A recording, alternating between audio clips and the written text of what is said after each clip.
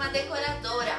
E hoje estamos no quinto episódio. Hoje eu vou mostrar para vocês como eu reformei a pia usando apenas papel contact.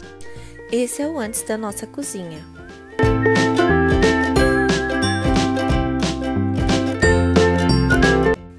Para começar, tire todos os puxadores. Com uma esponjinha molhada, passe em toda a parte que será aplicado o contact. Isso vai facilitar muito a aplicação. Agora é só posicionar e colar. Se você achar que não está bem alinhado, pode tirar e alinhar de novo. Como está molhado embaixo, você não vai ter dificuldade. Agora, com um paninho, faça movimentos de vai e vem, tirando todas as bolhas. Agora é só cortar o excesso, deixando uma sobra de dois dedos mais ou menos, e o restante é só virar para dentro. Não tem segredo. Repita o processo em toda a pia. Se quiser mudar a cor dos puxadores, use qualquer tinta spray. E esse foi o resultado da nossa pia. Eu gostei muito do resultado, ficou super fácil de limpar, deixou mais protegida da umidade e evitou que a madeira continuasse estufando. Eu optei pela cor preta, mas o papel contact existe uma infinidade de opções de cores e de estampas. Então use a criatividade e divirta-se. Eu também fiz uma lousa aqui na cozinha com papel contact, eu vou mostrar para vocês também como eu fiz. Para começar, certifique-se que o papel contact está bem alinhado. Atrás dele já vem com essas linhas que vai facilitar o seu serviço. Essa é uma porta de vidro que dá para lavanderia e a máquina de lavar ficava muito à mostra. Então eu fiz a mesma coisa.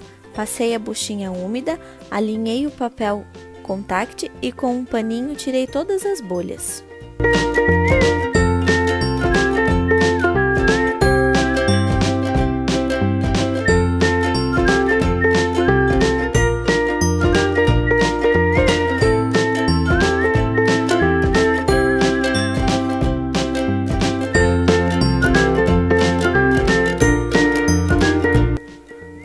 Estilete, tire todo o excesso.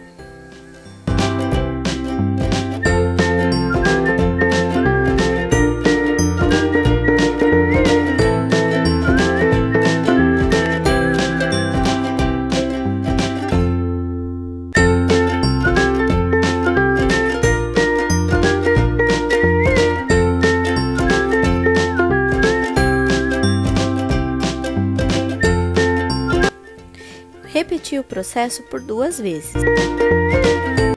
Na junção entre as portas, eu forrei o cartão com uma meias velha para facilitar o acabamento.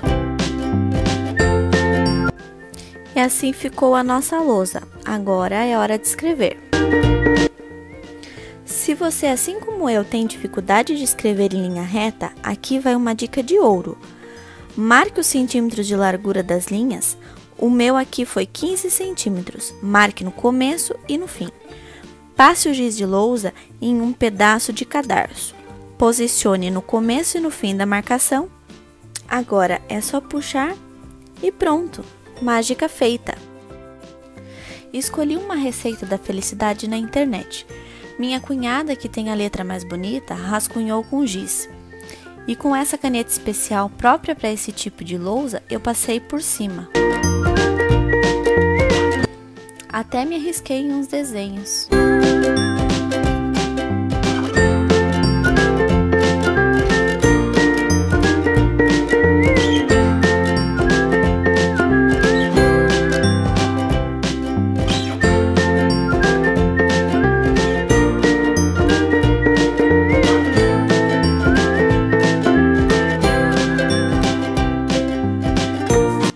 E assim ficou a nossa lousa.